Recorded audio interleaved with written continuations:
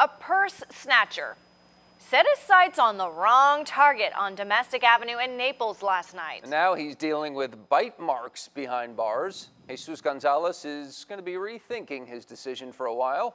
NBC2's Joseph Ojo is breaking down the suspect's bad moves. Let him try something like that with me. But he did not.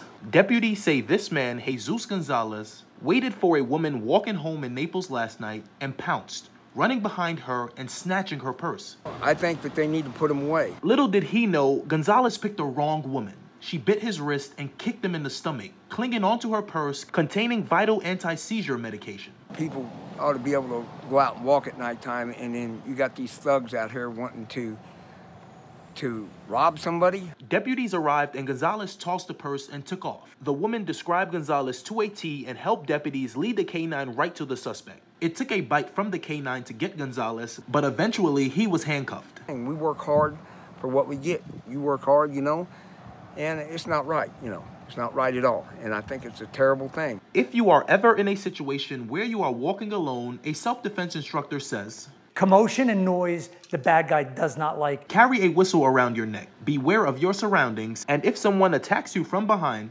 somebody's coming from behind you, A, you got to know they're coming. So every so often you got to be looking, right? So if they come, the first thing you want to do is turn and create space. You want to stay away from that attacker. Joseph Ojo, NBC2.